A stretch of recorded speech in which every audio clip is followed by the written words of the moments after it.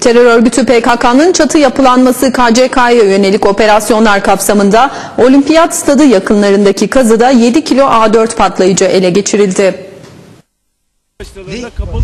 İstanbul'da terör örgütü KCK'ya yönelik operasyonlar çerçevesinde Atatürk Olimpiyat Stadyumu'nun hemen yanındaki ağaçlık alanda yapılan kazı çalışmasında yaklaşık 22 parça halinde 5 kilo 600 gram A4 patlayıcı, 2 adet fünye ve yönlendirmeli fabrikasyon patlayıcı olmak üzere toplam 6 kilo 900 gram patlayıcı bulundu. Ağaçların arasında evet.